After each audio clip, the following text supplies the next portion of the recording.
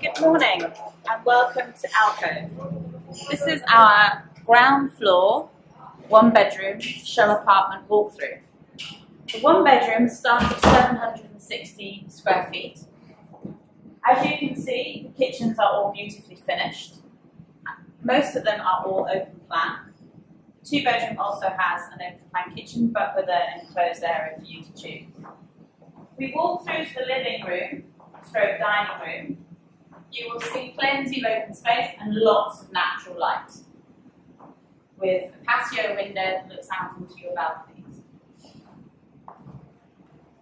One of the nice features about the apartment is the great use of space. Not only have they dynamically done it with the kitchen, they also have little things like your own vanity bathroom within the one bedrooms, which is nice obviously for the visitors. You're not having to utilise your own bathroom for people to when they come over and visit all beautifully finished, separate um, finishings within the small uh, bathroom. We walk through to the bedroom. All bedrooms are completely ensuite, doesn't matter if you're one bedroom or two bedrooms. As you can see, it's a great use of space. Not only because of the lightness of the floor gives the appearance of a, a, a bigger area, but also the finishings. Things like your fitted wardrobes within every bedroom. In addition, when you come back towards the ensuite, you have additional cupboard space, which is a great utilisation of space.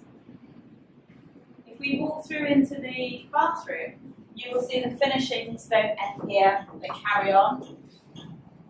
Plenty of space, lovely big bathroom, really lovely finishing, and again, fact that they've utilised the same flooring to enable you to take a full advantage of the space. Okay, so moving from the bathroom into the kitchen, not only are the um, Jaquar finishes in the bathrooms, but they're also in the kitchens as well.